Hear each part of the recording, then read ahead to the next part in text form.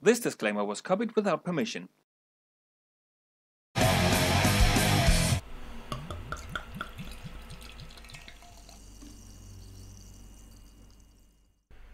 Cheers, Quaffers, Costlers, Wigglesibus, and all other good people out there. Hopswatch here. And uh, this is going to be a breakdown of a New Year's video that uh, the cult leader, the Danish cult leader who sought asylum in the United States, Torben Søndergaard, put up on the 31st of December. So it's regarding what happened to him and the Last Reformation uh, the past year, and it's also about his plans for the future.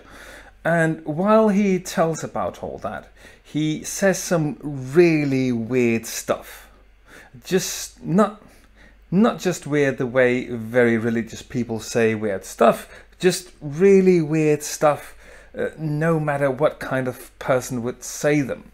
And there may even be some hints in the video to why he says things like that, speaks like that. The question I want to raise with this video, is he bonkers? Let's try and find out. But first, um, I'm uh, enjoying some leftovers uh, from Christmas. This is a traditional Danish Christmas white beer, but it's actually not white at all. It's very dark, as you will see in a second when I crack it open. It's from um, our local brewery here in Thisted, where I live. It's called Dana Julehvidtøl that's relatively safe to say, even on a sore throat, uh, even though it's Danish. So let's have a look into it. Um, one of the advantages with this beer is that uh, they're not very strong, uh, this type of beer. Uh, this one has 2%, which actually makes it one of the stronger ones. Um, the other the other ones that I tried this year, I think they had 1.7, uh, 1.8% respectively.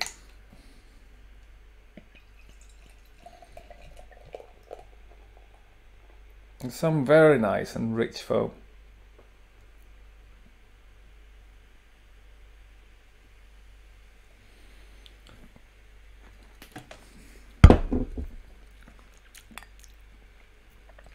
A bittersweet notes of uh, heavily sweetened coffee, heavily sweetened, uh, sugar sweetened coffee, I would say, and I hate sugar, sweetened coffee. I, I have my my uh, coffee pitch black and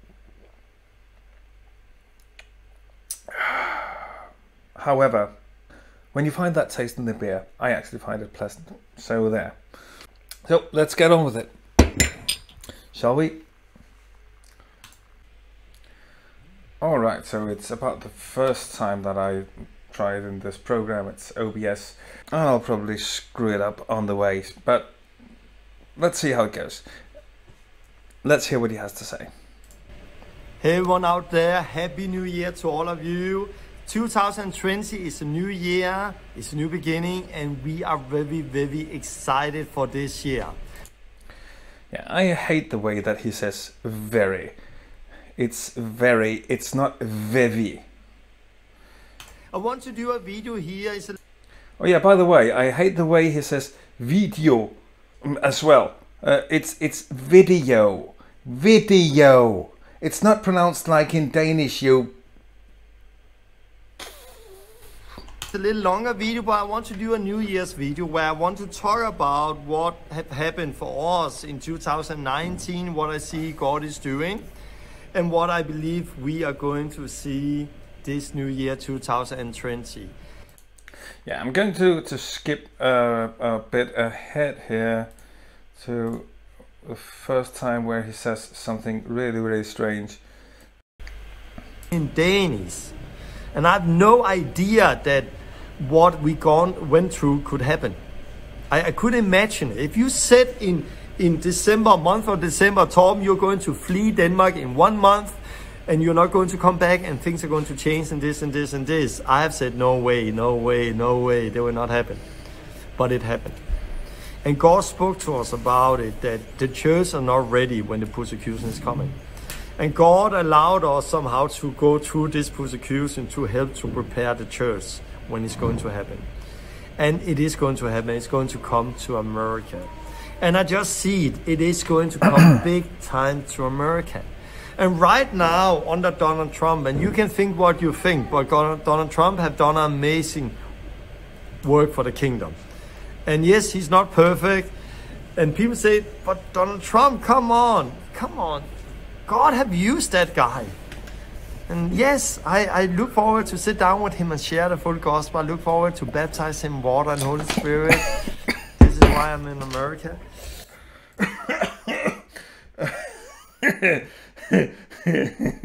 yeah. Okay, so uh, so actually Torben is not in uh, in the United States because he he he left Denmark um, because his his fraud was was revealed. He's in the United States in order to baptize Donald Trump and preach the gospel to him. Yeah, that's um, that's grand. Uh, yeah, yeah, you heard that right. You can rewind it and, and listen to it again. You can also uh, uh, you can also hear him say it uh, in the original video, which I of course linked linked in the description. Then the real battle also started. because I fasted January, the 1st of January to the 26th of January. I did not eat. I fasted into I came to America and then I felt now I can eat again. But then yeah, he, he fasted into he came to America. Uh, again, he's he's speaking this weird mixture of Danish and English. He tried to say he fasted until he he came to America. Then in February, March, I felt God say you had to fast and seek me more. So in Mar- April, I fasted 40 days. Let's just let's just hear that one more time, shall we? So in Mar- April, I fasted 40 days. Yeah, let uh, I happen to have uh, the calendar from last year here with me, and uh, I've got the month of uh, April. The dates are actually numbered, so um, this this this could be very very easy. But I'm going to do this. Uh, I'm going to do this thoroughly, just to be absolutely sure. So let me see. That's 1, 2, 3, 4, 25, 26, 27, 28, 29, 30. Yeah, I thought so. There are only 30 days in April, you dumb f- I feel I'm sick, I'm dying, what's happening? And in the end, that fear, that, that demonic attack start to manifest in my body and I couldn't breathe and I ended to a hospital with water beside my lungs and my rib and I couldn't breathe. And I was sitting at a hospital I understand that malnutrition can can lead to edemas. Now he's uh, obviously fasting a lot uh, and for very long periods of time. Well, he's not really fasting, as far as I can understand from rumors that I've heard. He drinks uh, one hell of a lot of cocoa when when he's fasting.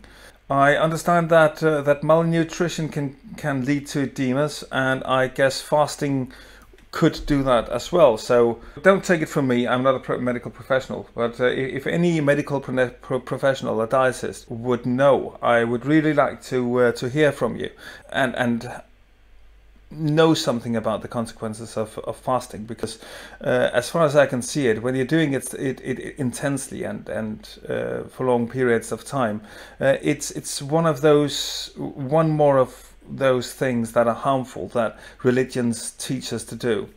Um, also, I'm I'm I'm seriously uh, asking myself whether the the weird things that he's saying and generally his weird antics could be a consequence of him having fasted too much and and taken some kind of I don't know uh, if not mental damage then then still if it's putting him off in some way. I don't know. Uh, just random thoughts. So what I'm going to do now is I'm going to jump a bit. So this is going to be about the persecution that he also goes much on about and how the uh, the sacrifices that he had to make in in Denmark uh, are expected to pay him hundredfold back. Let's have a listen. And I sat there and said, God, you did not bring me to America for me to die. You brought me through all of this for me because you have a message for me to the people in America. And there in the hospital, God spoke to me.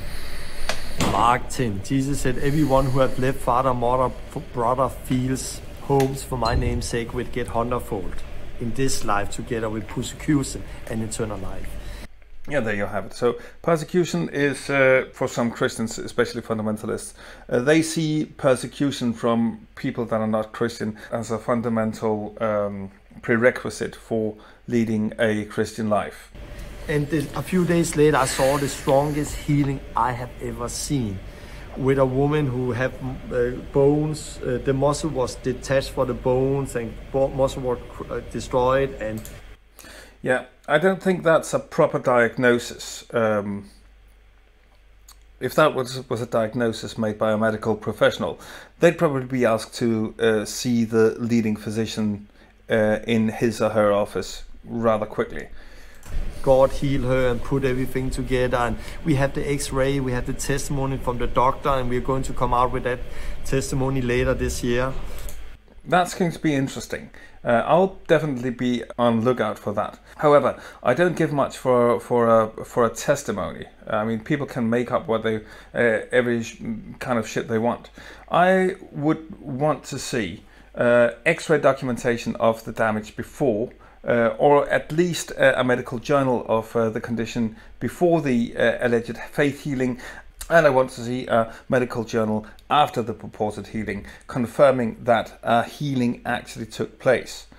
Also, I want to be absolutely sure that the um, that the condition that we are talking about, what whatever its proper name is, is in fact permanent. If it's something that will regenerate over time, it could have healed for other reasons. It could have healed, well, simply by natural regeneration. So I'll be on the lookout for that alleged documentation. If he ever comes out with it, my money is on it being useless. Oh, what a fantastic frame I just I just caught him in. So this is about um, experiences they had and how they came to the center and all that. I've never in my whole life experienced so many confirmations. I never in my whole life experienced so many times God had just sent the right person in the right moment. I never in my whole life experienced how God had provided for our needs the way He had the last month. And God have just provided. I just once says a few weeks ago, God put in my heart about TV studio and we need equipment, we need cameras, we have nothing. The day after, the telephone call. Hey Tom, what is your need? And it was a woman from Switzerland. I said, Who are you? Do I know you? No, what is your need? How did you get this number? Because I was surprised you called. It was on a landline I've never used. I did not know we had the landline. Eller know what the number was. I've never used it. Oh yeah, by the way, the word illa, which he often uses, uh, that's the word or in, da- in Danish. Uh, this or that. This illa that is probably what he would say. But our friend had pl- plugged it in and make it ready and she Googled and found the address and found the telephone. And I'm like, how did you get this number? I was so surprised. She said, what is your need? I said, we need camera equipment. Okay, thank you. And the day after, she sent $20,000 for equipment. So actually, it wasn't because of God that that uh, person contacted him. Uh, it was because of Google. Fancy that. Uh, also, I, I think it's it's it's almost nauseating that that this guy can can be so convincing to people that he defrauds them of uh, thousands of dollars of equipment that he persuades that he's able to persuade people to send equipment of that value to him i i i, I don't understand um, but I guess people are gullible like that, and when they are gullible, gullible like that, I think it's it's disgusting that he is is exploiting that. Look, another fine frame I, I caught him in. So the next thing he goes on about uh, is one of the core elements in the Last Reformation cult, the courses. Uh, I made a video about the Kickstart course, and they and he's telling about how they already made the first ones of those and the next ones that he is planning. And he also goes on about an experience that he had after he did the first Pioneer Training School. Those are the longer courses. They take three weeks. He will explain that as he goes along, so let's just hear him out. I'm a little too good at finding these brilliant frames of him, aren't I? And we had just had the first school now. It's still there. We had a three weeks PTS that was continuing into a two month. the way we do school is three weeks is the basic training how to hear the voice of God, heal the sick, cast out demons, preach the gospel, and be led by the Holy Spirit, going out, find a person of peace, and so on. But we continue in the Luke 10 where we go deeper, where we talk about uh, more about the five fivefold ministry, house network, how do we grow in all the things we have learned. And we had that three weeks, and it was beautiful. It was stronger than any school before. It was amazing, the testimonies. And when we ended up those three weeks, and students have to go, 90% of all the students that didn't want to leave, they're like, no, we are changing our tickets, we are stopping our job, we are doing this, we are changing, we don't want to leave, we want to stay here, we want to keep learning with you. Not only is he taking uh, three weeks out of people's schedules, uh, using probably using up all or at least a very huge portion of the the vacation that people have have saved for themselves. Uh, not only that, he's uh, he's also uh, persuading people to give up their jobs, sometimes even giving up their homes to uh, to to stay with him at his ark. I mean, come on, he's a it, it, it's a rip off from from Ken Ham. Uh, he can't even come up with his own stuff, and and and people are just suck, sucking it up, and he's exploiting that. He's ex- exploiting that gullibility. I, I find it I find it despicable. I find it really distasteful, disgusting even. We had our open house. I'll just read it here. We had our open house last weekend where people came, people got healed, people met God. I just wrote on Facebook over 50 people came. One of them was this woman. He, she came with this. Another picture there. See God set free. see God healed. And a few days later, she shared a lot, another picture where she was out for the first time in three years in a forest, walking around. The sun is shining without the neck bracelet, and she is free. And Okay, so they have an open house uh, arrangement. Uh, the the weekend before, he claims, this wom- woman attends. She has a neck brace, and a few days later, she uh, she doesn't wear it anymore, and she's allegedly healed. Now, uh, that last picture doesn't look like a winter picture to me. Uh, she's she's not wearing enough clothes to be out in the woods in, in the winter. I mean, even even with global warming, that just doesn't look right. That looks like some pictures he, he found on the internet more than anything else. Just my opinion. Um, why would you wear practically no clothes just after you recovered from some serious neck injury? I I think it's it's it's rather suspicious. Many, many, many, many testimonies for last weekend. One wrote this on on, on YouTube. She was here. Remember last weekend, and this is a comment from someone who attended the open house arrangement last weekend. here last weekend. She wrote this. I attended the open house at the Ark the 26th of December. The 26th of December was a Thursday. It was in the middle of a week. It was not in the weekend, you. What is it with this man and reading calendars? What is it about dates he doesn't understand? Oh. I was immediately met by my car, at my car of staff and students who welcomed me. Torben wasn't far behind adding his welcome. I shone around the campus, campus, loved on, prayed for by several of the students and staff. I attended baptism where I saw broken people come on, under, water, come up praising God, filled with the Holy Spirit. Hallelujah. I was also invited to break the bread communion with them. As a lifetime church attendees, I have never experienced such love towards me. This is called love bombing, by the way. It's a very common uh, practice amongst the destructive cults.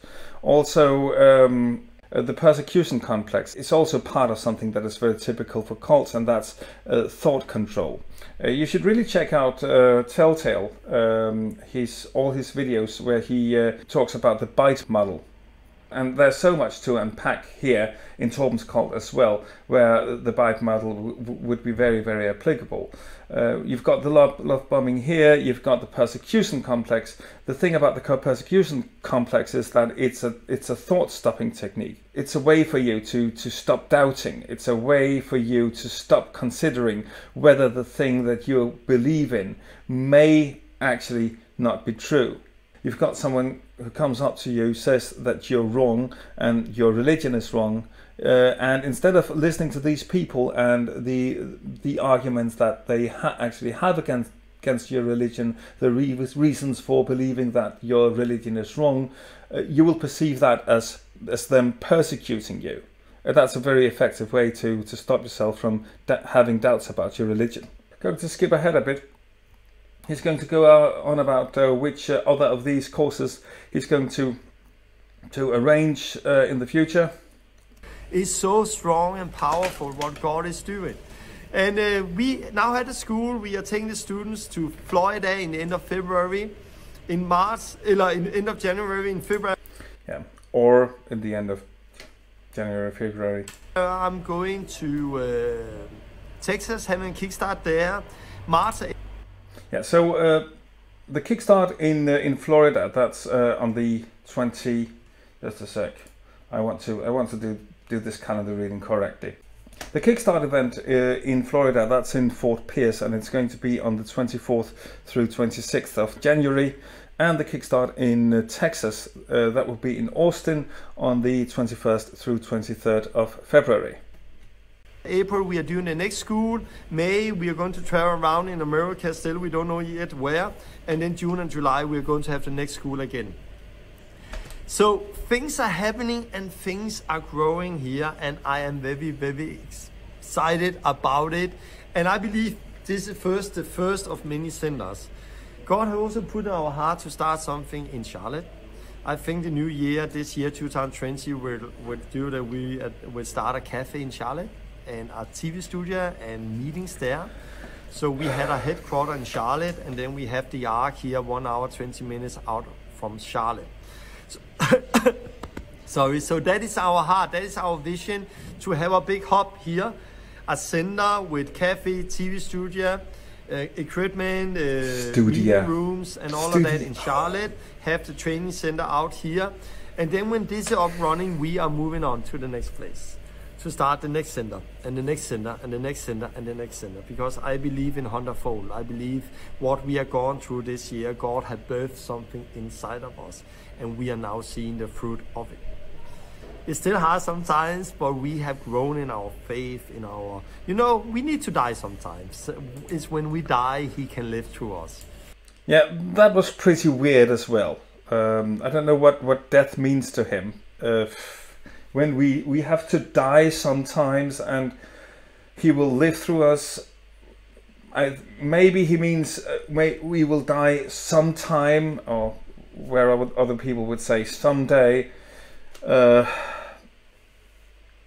but it, it, actually sounds as, as if he, he thinks of dying as a metaphor for for uh, experiencing a, a setback after which something better will come. And, and I think it works really, really bad as an analogy, if, he, if that is actually what he's saying. If he's, but so trying to steelman this, maybe he's just not very good at Englishing. Generally, he, he isn't.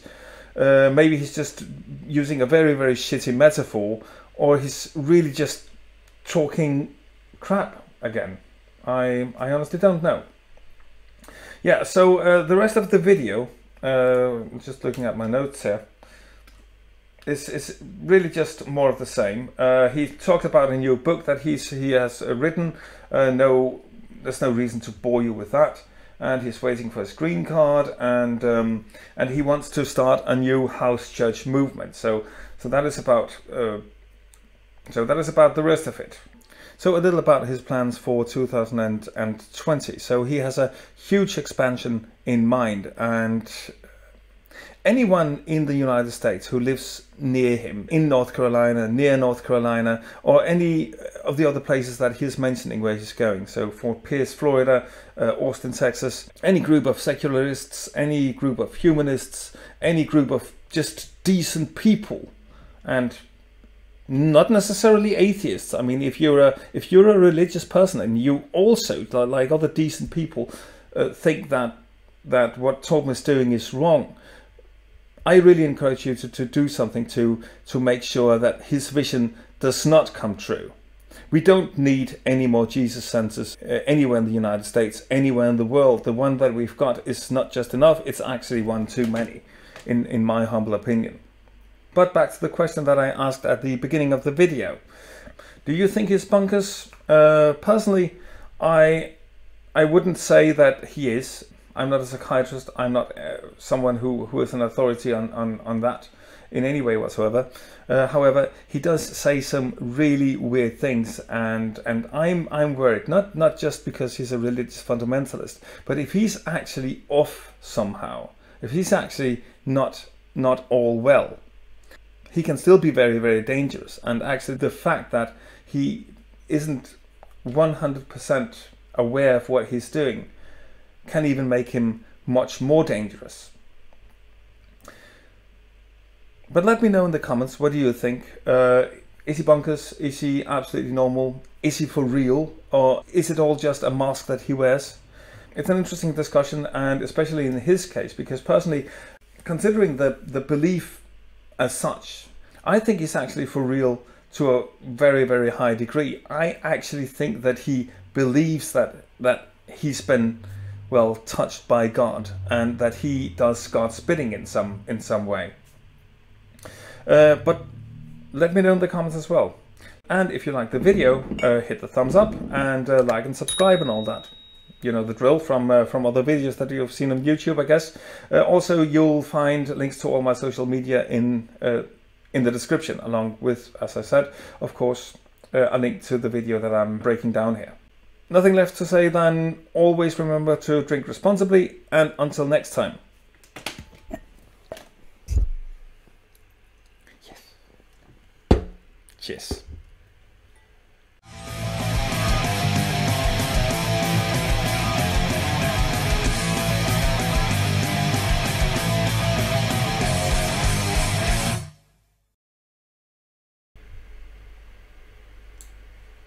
Last year. But I'm still standing and I can testify God is faithful. And we have now got the first of many, many, many Jesus centers. Am I the only one with Elton John going on in my head right now? I'm still standing. Sorry.